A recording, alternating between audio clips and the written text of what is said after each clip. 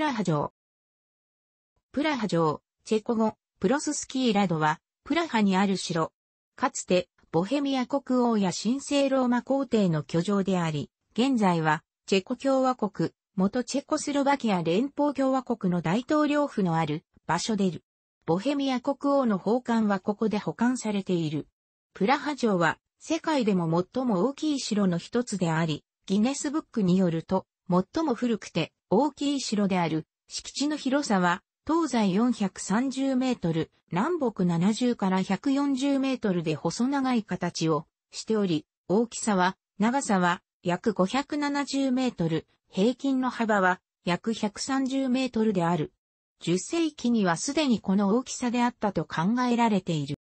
城はフラチャヌイの丘の頂にある。そのふもとに、マラーストラナという城下町がある。城とふもとの高低差は80メートルもある。城まで続く坂道がネルドバ通りで、土産物店やレストランが並び市電も走っており、賑やかである。登り詰めると城の正門に突き当たり、石畳のフランチャヌイ広場がある。この広場は、アマデウスやレ・ミゼラブルなどの映画に登場している。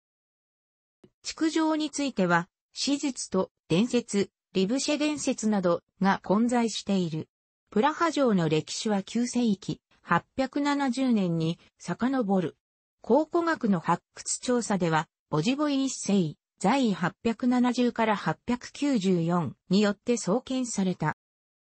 壁に囲まれた最初の建築物は、であった。聖イジーと聖ビートのバシリカは、10世紀の前半に建設された。ボヘミアで最初の修道院は、城の中、聖イジー教会の隣に建設された。ロマネスク様式の宮殿がここに建てられたのは、12世紀のことである。14世紀には、ボヘミアの黄金時代を築いた神聖ローマ、皇帝カール4世、イコール、ボヘミア国王カレル1世の支配のもと、王宮がゴシック様式で再建され、城塞として強化された。セービートのロトンドとバシリカの代わりに広大なゴシック教会が建設されたが、完成までにはほぼ6世紀かかった。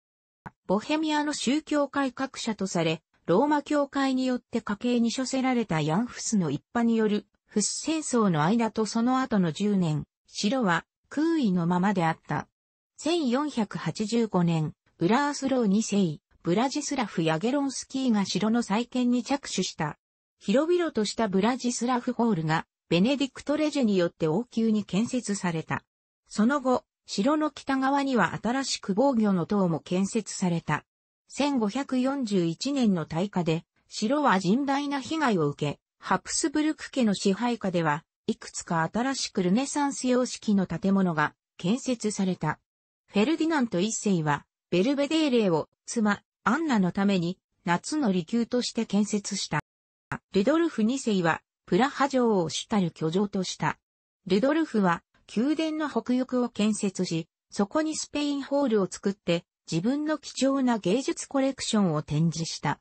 1618年に起きた二度目のプラハ、総外投擲事件は、白山の戦いの契機となり、戦闘の間に、プラハ城は荒れ果てた。30年戦争の過程で1648年、ルドルフ2世のコレクションは、多くの作品がスウェーデンによる略奪にあった。プラハ城の再建としては、18世紀後半に、女帝マリア・テレジア、ボヘミア女王が行ったものが最後となる。オーストリア皇帝フェルディナント1世、イコール、ボヘミア王フェルディナント5世は184年の退位後、プラハ城を居城とした。1918年、チェコスロバキア共和国の成立とともに、プラハ城には大統領府が置かれた。新王宮と庭園は、スロベニアの建築家、ジョゼ・プレクニク、ジョザ・プレクニックにより修復された。第二次世界大戦の最中、ナチスによるチェコスロバキア占有中、プラハ城はラインハルト・ハイドリヒの本拠地となり、ボヘミアとモラビアのライヒ公安の本拠地となった。ラインハルトは、ボヘミアの王冠を頭上に乗せたと言われ、彼自身も王のように振る舞った。ボヘミアの王冠には、それを頭上に乗せた三奪者には1年以内に死が訪れるという伝説があったが、権力を握って1年も経たぬうちにハイドーリヒは暗殺された。チェコスロバキア解放の後は、プラハ城はチェコスロバキア社会主義共和国の共産主義政府が置かれた。ビロード革命の際、プラハの春の指導者だったアレクサンデル・ドゥプチェックは、バツラフ広場に面したバルコニーに現れ、ドゥプチェクを城へ。と叫ぶ、民主化デモの群衆の声を聞いた。彼らの声が、プラハ城にある国家指導者への椅子へとドゥプチェクを導き、彼は民衆にとって民主主義と自由のシンボルとなった。チェコスロバキアがチェコ共和国とスロバキア共和国に分かれた後、プラハ城には新しくチェコ共和国の大統領府が置かれている。初代大統領トマーシュ・マサリクがプレクニックに依頼したのと同様、バーツラフ・ハベル大統領は、ポスト共産主義建築家として、プラハ城の改修に取り組むよう、ボジェクシーペク、ボークセピークに、委託、城のギャラリーの絵も修繕された。2012年9月、トリップアドバイザーの企画、バケットリストの世界の名城25選に選ばれた。プラハ城には、ゴシック様式の聖ビート大聖堂、ロマネスク様式の政治教会のバシリカと修道院、そして宮殿、庭園、戦闘が含まれており、先の千年間のあらゆる建築様式を実体的に荒らしている。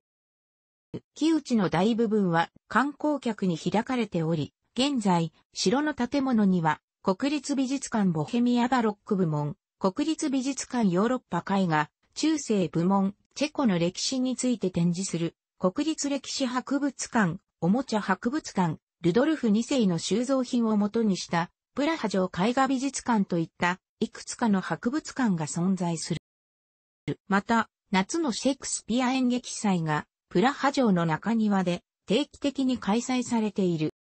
プラハ城のある周辺は、フラッチャに城の丘と呼ばれている。プラハ全市の主な観光名所は、深夜0時までライトアップされるが、フラッチャニに浮かぶライトアップされたプラハ城の姿は美しい。しかし、プラハの月始前後はサマータイムの影響もあり、夜の22時近くにならないと完全に暗くならない。夜の治安も比較的安定している。プラハ市は夜に名所を巡って歩く観光客も多い。プラハの他の名所のライトアップも見たいのなら、早く夜がやってくる秋こそ観光にふさわしい。楽しくご覧になりましたら、購読と良いです。クリックしてください。